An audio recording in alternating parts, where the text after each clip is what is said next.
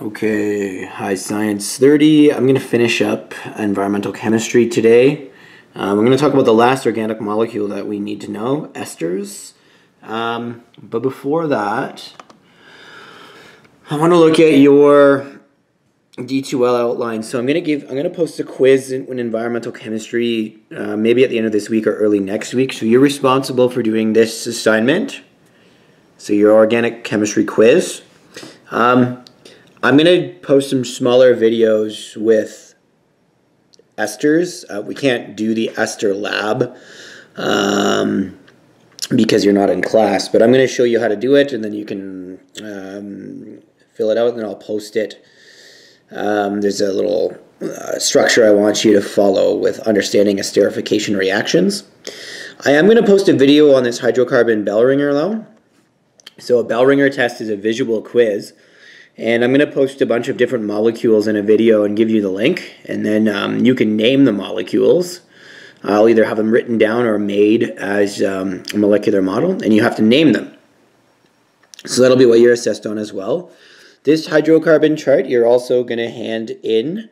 And it's this thing that we've been working on the last few days. So you're going to be marked on that. Okay. Uh, so those are your assessments for organic chemistry. Now before I talk about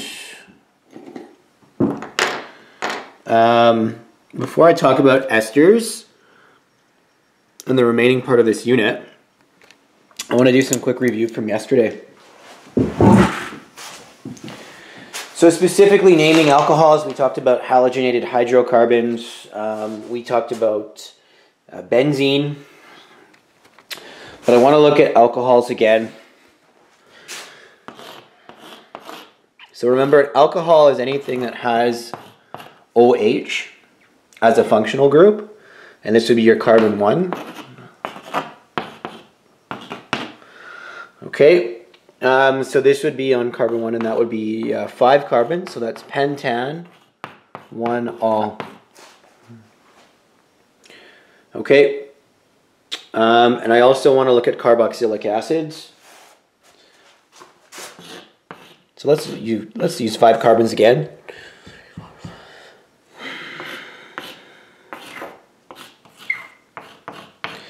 Okay, so carboxylic acids have the C double bond OOH OH group. So this is called a carboxyl group. And to name that, right, so you still have the pent, still have the pentan piece. The carboxyl group is indicated by oic acid, so it's pentan oic acid. Okay. Now in your model kit, when I post this on your bell ringer, you will always see oxygen as blue. Right? Carbon will always be black and hydrogen will be white. So just be aware of that. Okay, so that's how we name carboxylic acids and how we name alcohols, right? And you can have the hydroxide group on any of these carbons in the chain, um, and you would name you would name the alcohol according to where the carbon was, and they can have side branches as well. We're not going to really deal with side branches a ton um, in uh, Science 30, however. Okay, now the reason why I want to review these two is because esters are actually a combination of carboxylic acids and alcohols. Okay, so if I look at my notes, right, esters are organic compounds formed by the chemical reaction of a carboxylic acid and an alcohol. They can naturally occur or we can make them. All right, so esters are the main molecules that make plastics, right? So polyesters. Okay, um, but they're also, they occur in natural flavorings and things like that. So fatty acids and fats in your bodies are stored as esters. Plastic scents, flavors, artificial or natural. Um, lots of molecules are made out of esters.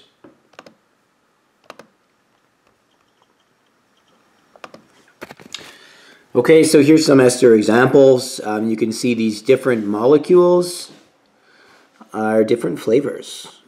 that we can isolate from fruits or from uh, sugary molecules. Okay, so this is, um, you can see, right, this is wintergreen flavor, methyl salicylate. So you have um, uh, an alcohol portion and a carboxylic acid portion. So this is actually salicylic acid, which is used in a lot of acne medication, and methanol. Okay, so you can see a few different examples here. You can look at that in your notes. So an esterification reaction is we bring an alcohol and a carboxylic acid together, and this is called dehydration synthesis. So you have the carboxylic acid plus the alcohol, and then we treat it with a strong acid. And if we did an, an ester reaction in class, we would use sulfuric acid to do that. And what that does here is it removes, when it reacts with the hydrogen ion, you remove a hydroxide group and, an, and a hydrogen group. And that makes water as a product. And you get an ester. So, the, so it's a combination of two molecules. So this part of the ester reaction is the carboxylic acid. And where the single bond O is, is the alcohol. Okay? So that's in that's that's a really important concept for us to understand here. So let's say we have this pentanol and this pentanoic acid that is reacted together. So let's make this.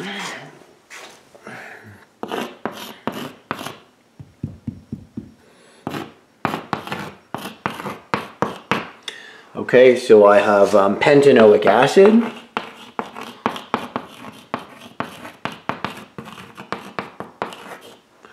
Okay, pentanoic acid plus um, pentanol. I'm going to put the hydroxide on the other side here. It's covering one, two, three, four, five, and that's pentan one ol. So you so you can only in a esterification reaction, you can only have an alcohol that has a hydroxide on the end piece here. Okay. So let's say that we reacted these two together with heat and an acid. And that is what we would do with an esterification reaction. Okay, so we're to react these two together with acid plus heat. Um, what we would make for products, okay, what we would make for products here is uh, water. So we would remove the Okay, so we're going to remove um, hydrogen and hydroxide, and we're going to make water, or HOH. Okay, and then we end up with this happening. So we have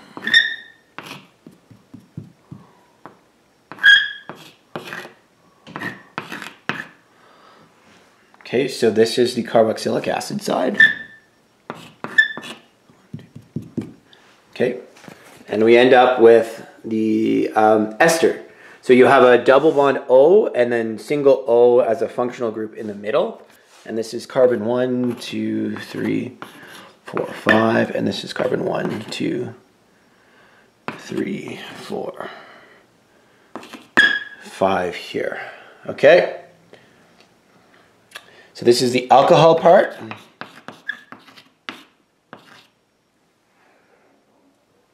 And then this is the carboxylic acid part. I'm just going to write Ca. Okay? So these are our products of an esterification reaction. Now, how we name this is we name the alcohol first and the carboxylic acid second. So the single bond O is always where the alcohol portion is. Um, and this will be now called, rather than pentanol, We'll drop the an all and we'll write pentyl.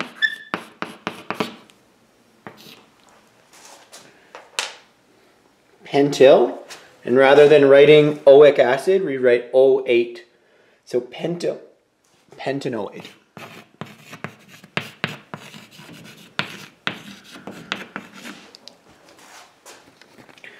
Okay, pentyl pentanoate. All right. So we get this reaction of carboxylic acid and alcohol react with heat and hydronium or acid. We get water and an ester as a product, and that is an esterification reaction. Okay? So, that's what this talks about. Naming esters. So these are all your instructions that I just went through. Okay, and this also shows this here. So esters are named by the joining of by joining the name of the alcohol with the name of the acid, right? So ethanol plus ethanoic acid would be ethyl ethanoate. Propanol is the alcohol, the ethanoic acid, and the second one is the carboxylic acid, propyl ethanoate. Okay, um, the alcohol portion is always closest to the single bond O. The carboxylic acid portion is always closest to the double bond O. So this is ethanol, and this is propanoic acid, so ethyl propanoate. This one shows propanol and methanoic acid, propyl methanoate. Okay? Methanol and one, two, three, four carbons. That's butanoic acid. That is methyl butanoate. So the so the red part is the alcohol. So you drop the OL and add YL. And then here you drop the oic acid and add OATE. So that indicates ester. Okay. Um, you can have many esters bonded together to make polyesters. Poly means many, all right? So we can synthetically bond alcohol and carboxylic acids in long chains, and this is what makes our plastic. So that is cellulose acetate, and that is a biodegradable plastic. Okay. Um, all right, so we've engineered bioplastics with that. So some of our um, um, our eggshell or our, um, our, you know our eggshell crate um, plastics are actually biodegradable. Uh, I'll talk about this one later. Okay, so um, I'm going to post this assignment. And you guys are going to look at your um, different, so there's eight different reactions that I would do if we were in class. We can't do those in class. So you guys are going to do a little lab activity. Unfortunately, we're not going to be able to do the whole thing. But this is um, condition one, two, three, all right, done a six. But I have two more and I handwrote them. So the seven is benzoic acid. And um, eight is uh, ethanoic acid. Now, um, this is a lab that makes artificial flavors. Okay. Um, so in so generally when we do an ester lab, okay, uh, you have you'll you'll have this lab set up here, and, and so everything's in a hot water bath, and then you react the alcohol and the carboxylic acid in the test tube. This would be set up to a hot plate, and um, and then sulfuric acid would be placed inside here, and then they would react together, and they would make an ester, and you'll get a scent from it. And these different things make um, like pineapple flavor or strawberry flavor, um, fruit punch flavor. The benzoic acid and the methanol will make wintergreen flavor. Um, this, sorry, um, this should make uh, the benzoic acid and the methanol should make strawberry flavor. The salicylic acid and the um, ethanol um, that will make um, wintergreen flavor. Uh, that one usually smells quite good. So unfortunately, we can't do that. Um, but you can do the written portion. So what I want you to do with this lab when you hand it in is I want you to do this. So there's these eight conditions here. All right, so when I post, oh, I'm going to post this later on in the week. So there's these tables. I look like this. I want you to actually put the reactions of all those eight reactions um, in here. So you're going to actually map out the esterification reaction. So I'll show you the first one. So here's what I want you to do. So the first reaction is ethanoic acid plus octanol, and I believe this makes citrus flavor. So here's what we do. Um, I'm going to write the word equation for it. So ethanol, uh, sorry, ethanoic acid, which is vinegar, plus octan 1 ol. Okay, so this, um, when treated with heat and H3O plus, okay, what it should do is make water, or HOH, water, and we're going to make um, ethanoic acid, right? So this is your carbon 1, carbon 2, and that's going to be bonded together. So that's carbon 1, 2, 3, 4, 5, 6, 7, 8. Okay, so it's going to make that molecule. Okay. So uh, my word equation will be water plus um, octyl. And then this one is ethanolate. Okay? So I want you to write out the word equation, and then I want you to write out the chemical equation. So ethanoic acid is this, plus octanol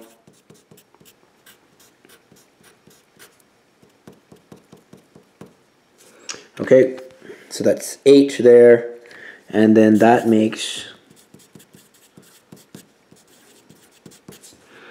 um, my that's going to make my water molecule.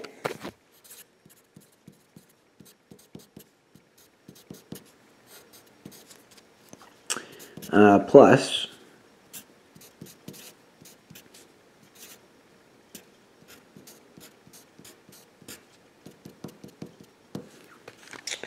That's going to make my water molecule plus my ester.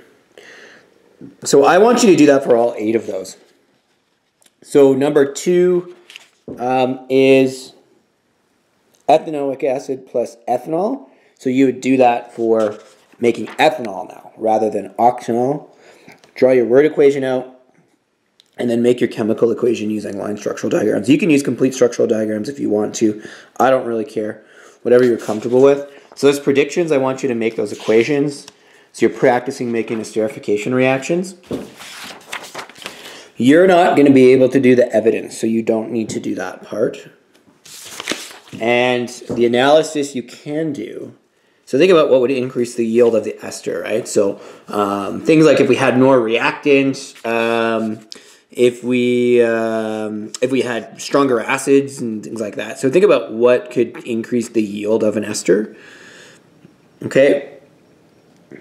Think about how we would turn the reactions back into their original components. Now we remove water, right, in order to make the ester. So what would we need to do in order to turn the ester back into alcohols and carboxylic acids, right? So think about that.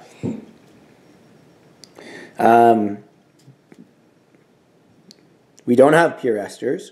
Um, think about purification of like how do we do that, right? Uh, filtration, distillation, things like that. All right. So I want you to do a little bit of research on how you purify substances in chemical reactions.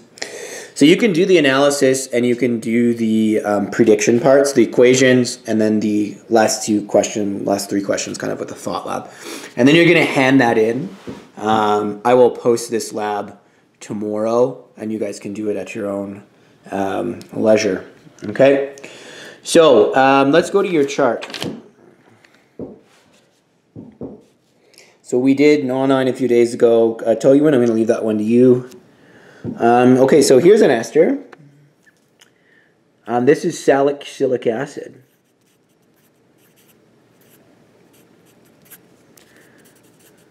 And single bond O is the alcohol part, and that's methanol. Okay, so this makes um, methyl salicylate.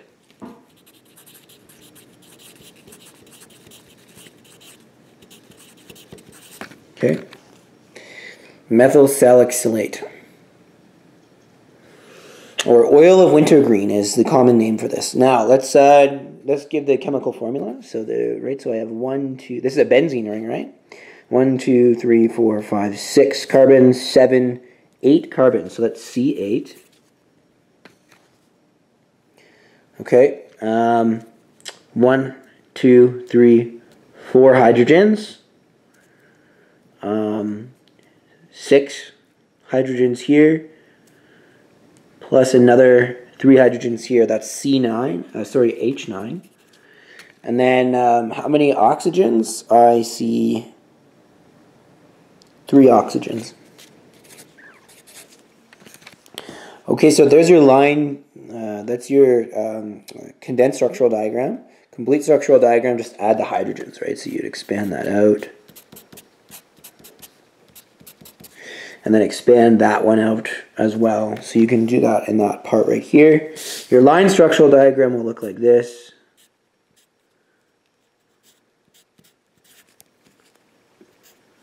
It's going to look very similar.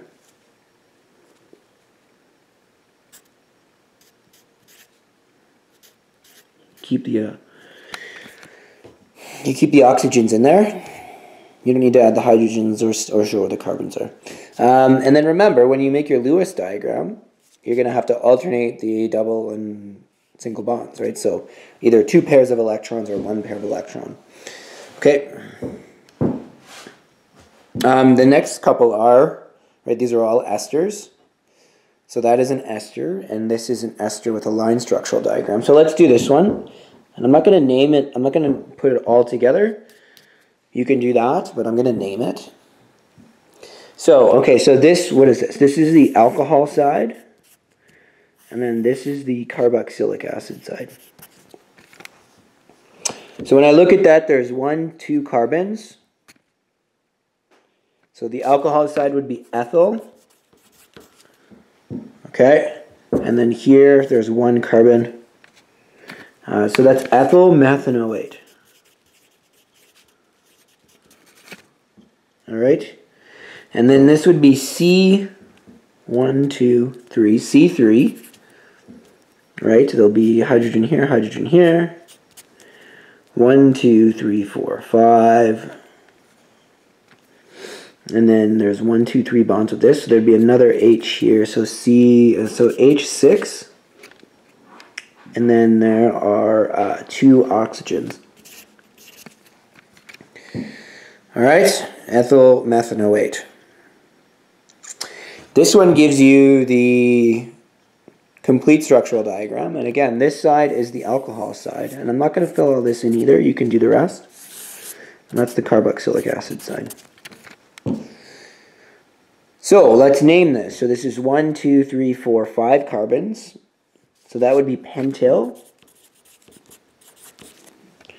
And then I have one, two, three, four carbons on the carboxylic acid side. So that's pentyl butanoate. Oh and you can count up the carbons and hydrogens and oxygens and then get your chemical formula. And ethyl butanoate, right? Um, that would be the, the alcohol side is the ethanol and two carbons, and the carboxylic acid side is um, uh, is butanoic acid, and there's four carbons there. So you guys can you guys can fill that one in. I'm, I think we're pretty clear with what we need to do here. Okay. So that is so that's ester reactions. Okay? That's the last organic compound that you guys need to know. Um, so the next, the last part of this unit um, addresses um, issues when persistent organic pollutants or polycyclic aromatic hydrocarbons get into an environment and how we manage them. So this is um, this is a dog that's being animal tested on. Um, so we have two measurements that we use lab animals for. Right? Uh, that seems pretty tragic here, but um, we have two um, measurements that we use in order to deal with what we can expect to have safe doses for in different environments with these um, volatile chemicals. So toxicity, um, what we're looking at is the ability of a substance to cause damage to living tissue impair the function of a body system, or cause death when ingested, inhaled, or absorbed through the skin. So when we make pesticides and herbicides and um, other types of pollutants, we have to do LD50 and LC50 testing in order to understand how it's going to act in an environment if it gets there. Um, with herbicides and pesticides, we obviously want it there. Um, so if you look at LD50, LD50 is the dosage of a chemical substance given all at once that kills half the population, tested within a specific time, expressed in milligrams per kilogram body weight. So what LD50 is, it's the lowest dose required to kill 50% of all the living things in an environment that we're trying to kill. So, which, so we use strong chemicals with low LD50 values generally because less is needed to control pests. So we want LD50 values. So these are concentrations in milligrams per kilogram of body weight. We want um, toxicity to happen at lower concentrations. So what that means is the chemicals are really strong and they can cause death with less use. All right. So if we can find really, really strong pesticides and herbicides, so if we can modify them so they have a really large toxicity value at low concentrations, that means less of it gets into the environment, and we generally want to use that because it's more economical as well. So when we're testing before something gets into an environment, we're looking at LD50. Okay, now LC50 is once this is exposed, what concentrations can be safe in an environment. Okay, so if DDT, for example, gets into the environment, um, how much of it can the environment handle until toxicity starts to occur? Right, so it's the concentration of a chemical substance in air or water that kills half the population within a specified time, and we'll express that in parts per million generally. So LD50 and LC50 values are used to determine effectiveness of pesticides, herbicides, fungicides, antibiotics, drugs, household cleaners, industrial chemicals, etc. So this determines the concentrations that we deem safe with these industrial products. Um, page 284 in your text expresses the type of question that you're going to see with this.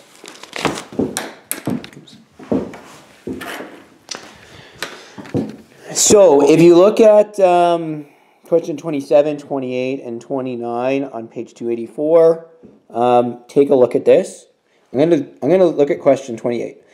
So scientists testing 2,4-D and, an, and a 2,4-D ester, so these are pesticides, compare LC50 values.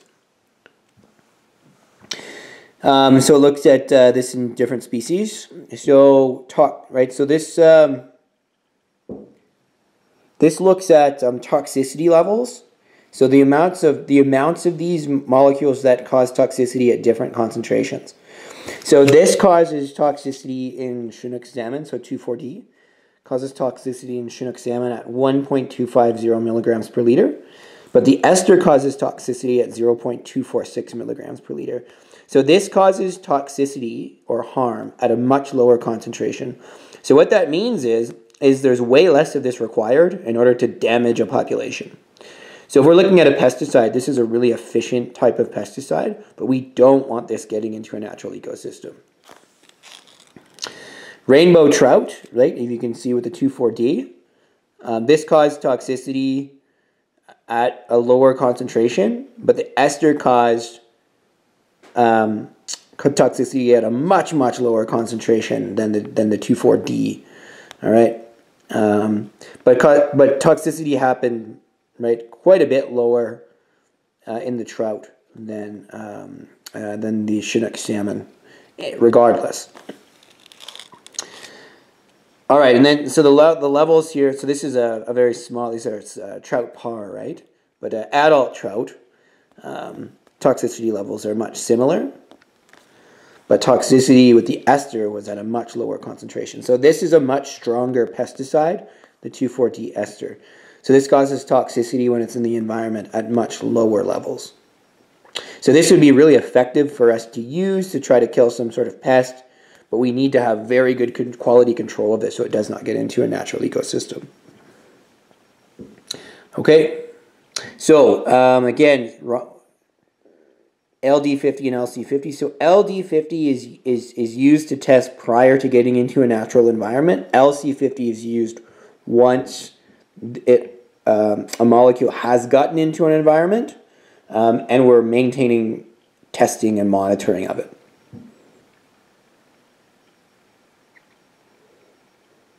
Okay, so this, I mean, you could turn this into an ester, right? Um, so uh, when we look at this, LD50 is short-term testing. LC50 is long-term once it's built up. Okay, so LD50 is the dose that can kill something. LC50 is what happens once it's been there for a period of time and built up. So you need to know the difference between the two of those. This, um, right, so toxicities at lower concentrations means less is needed. Okay, so that's LD50 and LC50. So when we use these molecules and we put them into environments, we use, we, we, we construct them with LD50 and then monitor them with LC50. Okay, and we use animal testing for that. So this is a dog that's being basically poisoned um, with a pesticide or a herbicide to see what levels of toxicity happen, right? Okay, so some issues with pest control. Um, one thing when we use pesticides is drift, so we can transfer pesticides by wind or air from locations where they weren't intended to be. Um, that can build up resistance in pests and things like that quite quickly and destroy crops. A very extreme form of this drift is called the grasshopper effect. So um, this is a really big deal for Arctic animals because they have high concentrations of fat. Now remember, these um, pesticides and herbicides, they're organic molecules, they're esters. Now, fat is stored as an ester. So, if these persistent organic pollutants get into an organism, they will be stored in fat. And Arctic animals and Antarctic animals have lots and lots of fat um, because they live in cold environments. So, and the grasshopper effect is really important for these types of animals. So the transport of pesticides that results from their evaporation in warmer climates and condensation and the deposit in colder climates. So it's this transfer of these pesticides and herbicides on, on global wind cells from um, agricultural regions to areas where there isn't agriculture. Right, so this is a grasshopper effect in the Arctic. Okay, so these are my slides. So this works on thermodynamics, okay? Um, and they're persistent. Remember, they don't break down. So things can really biomagnify. And then, so this is a polar bear that is uh, experiencing toxicity from pesticides in an area where there are no pesticides sprayed. Okay, so let's let me do a little lesson with this.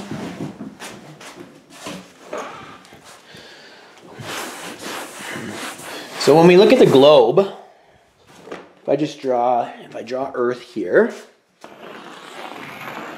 okay, um, here's the equator.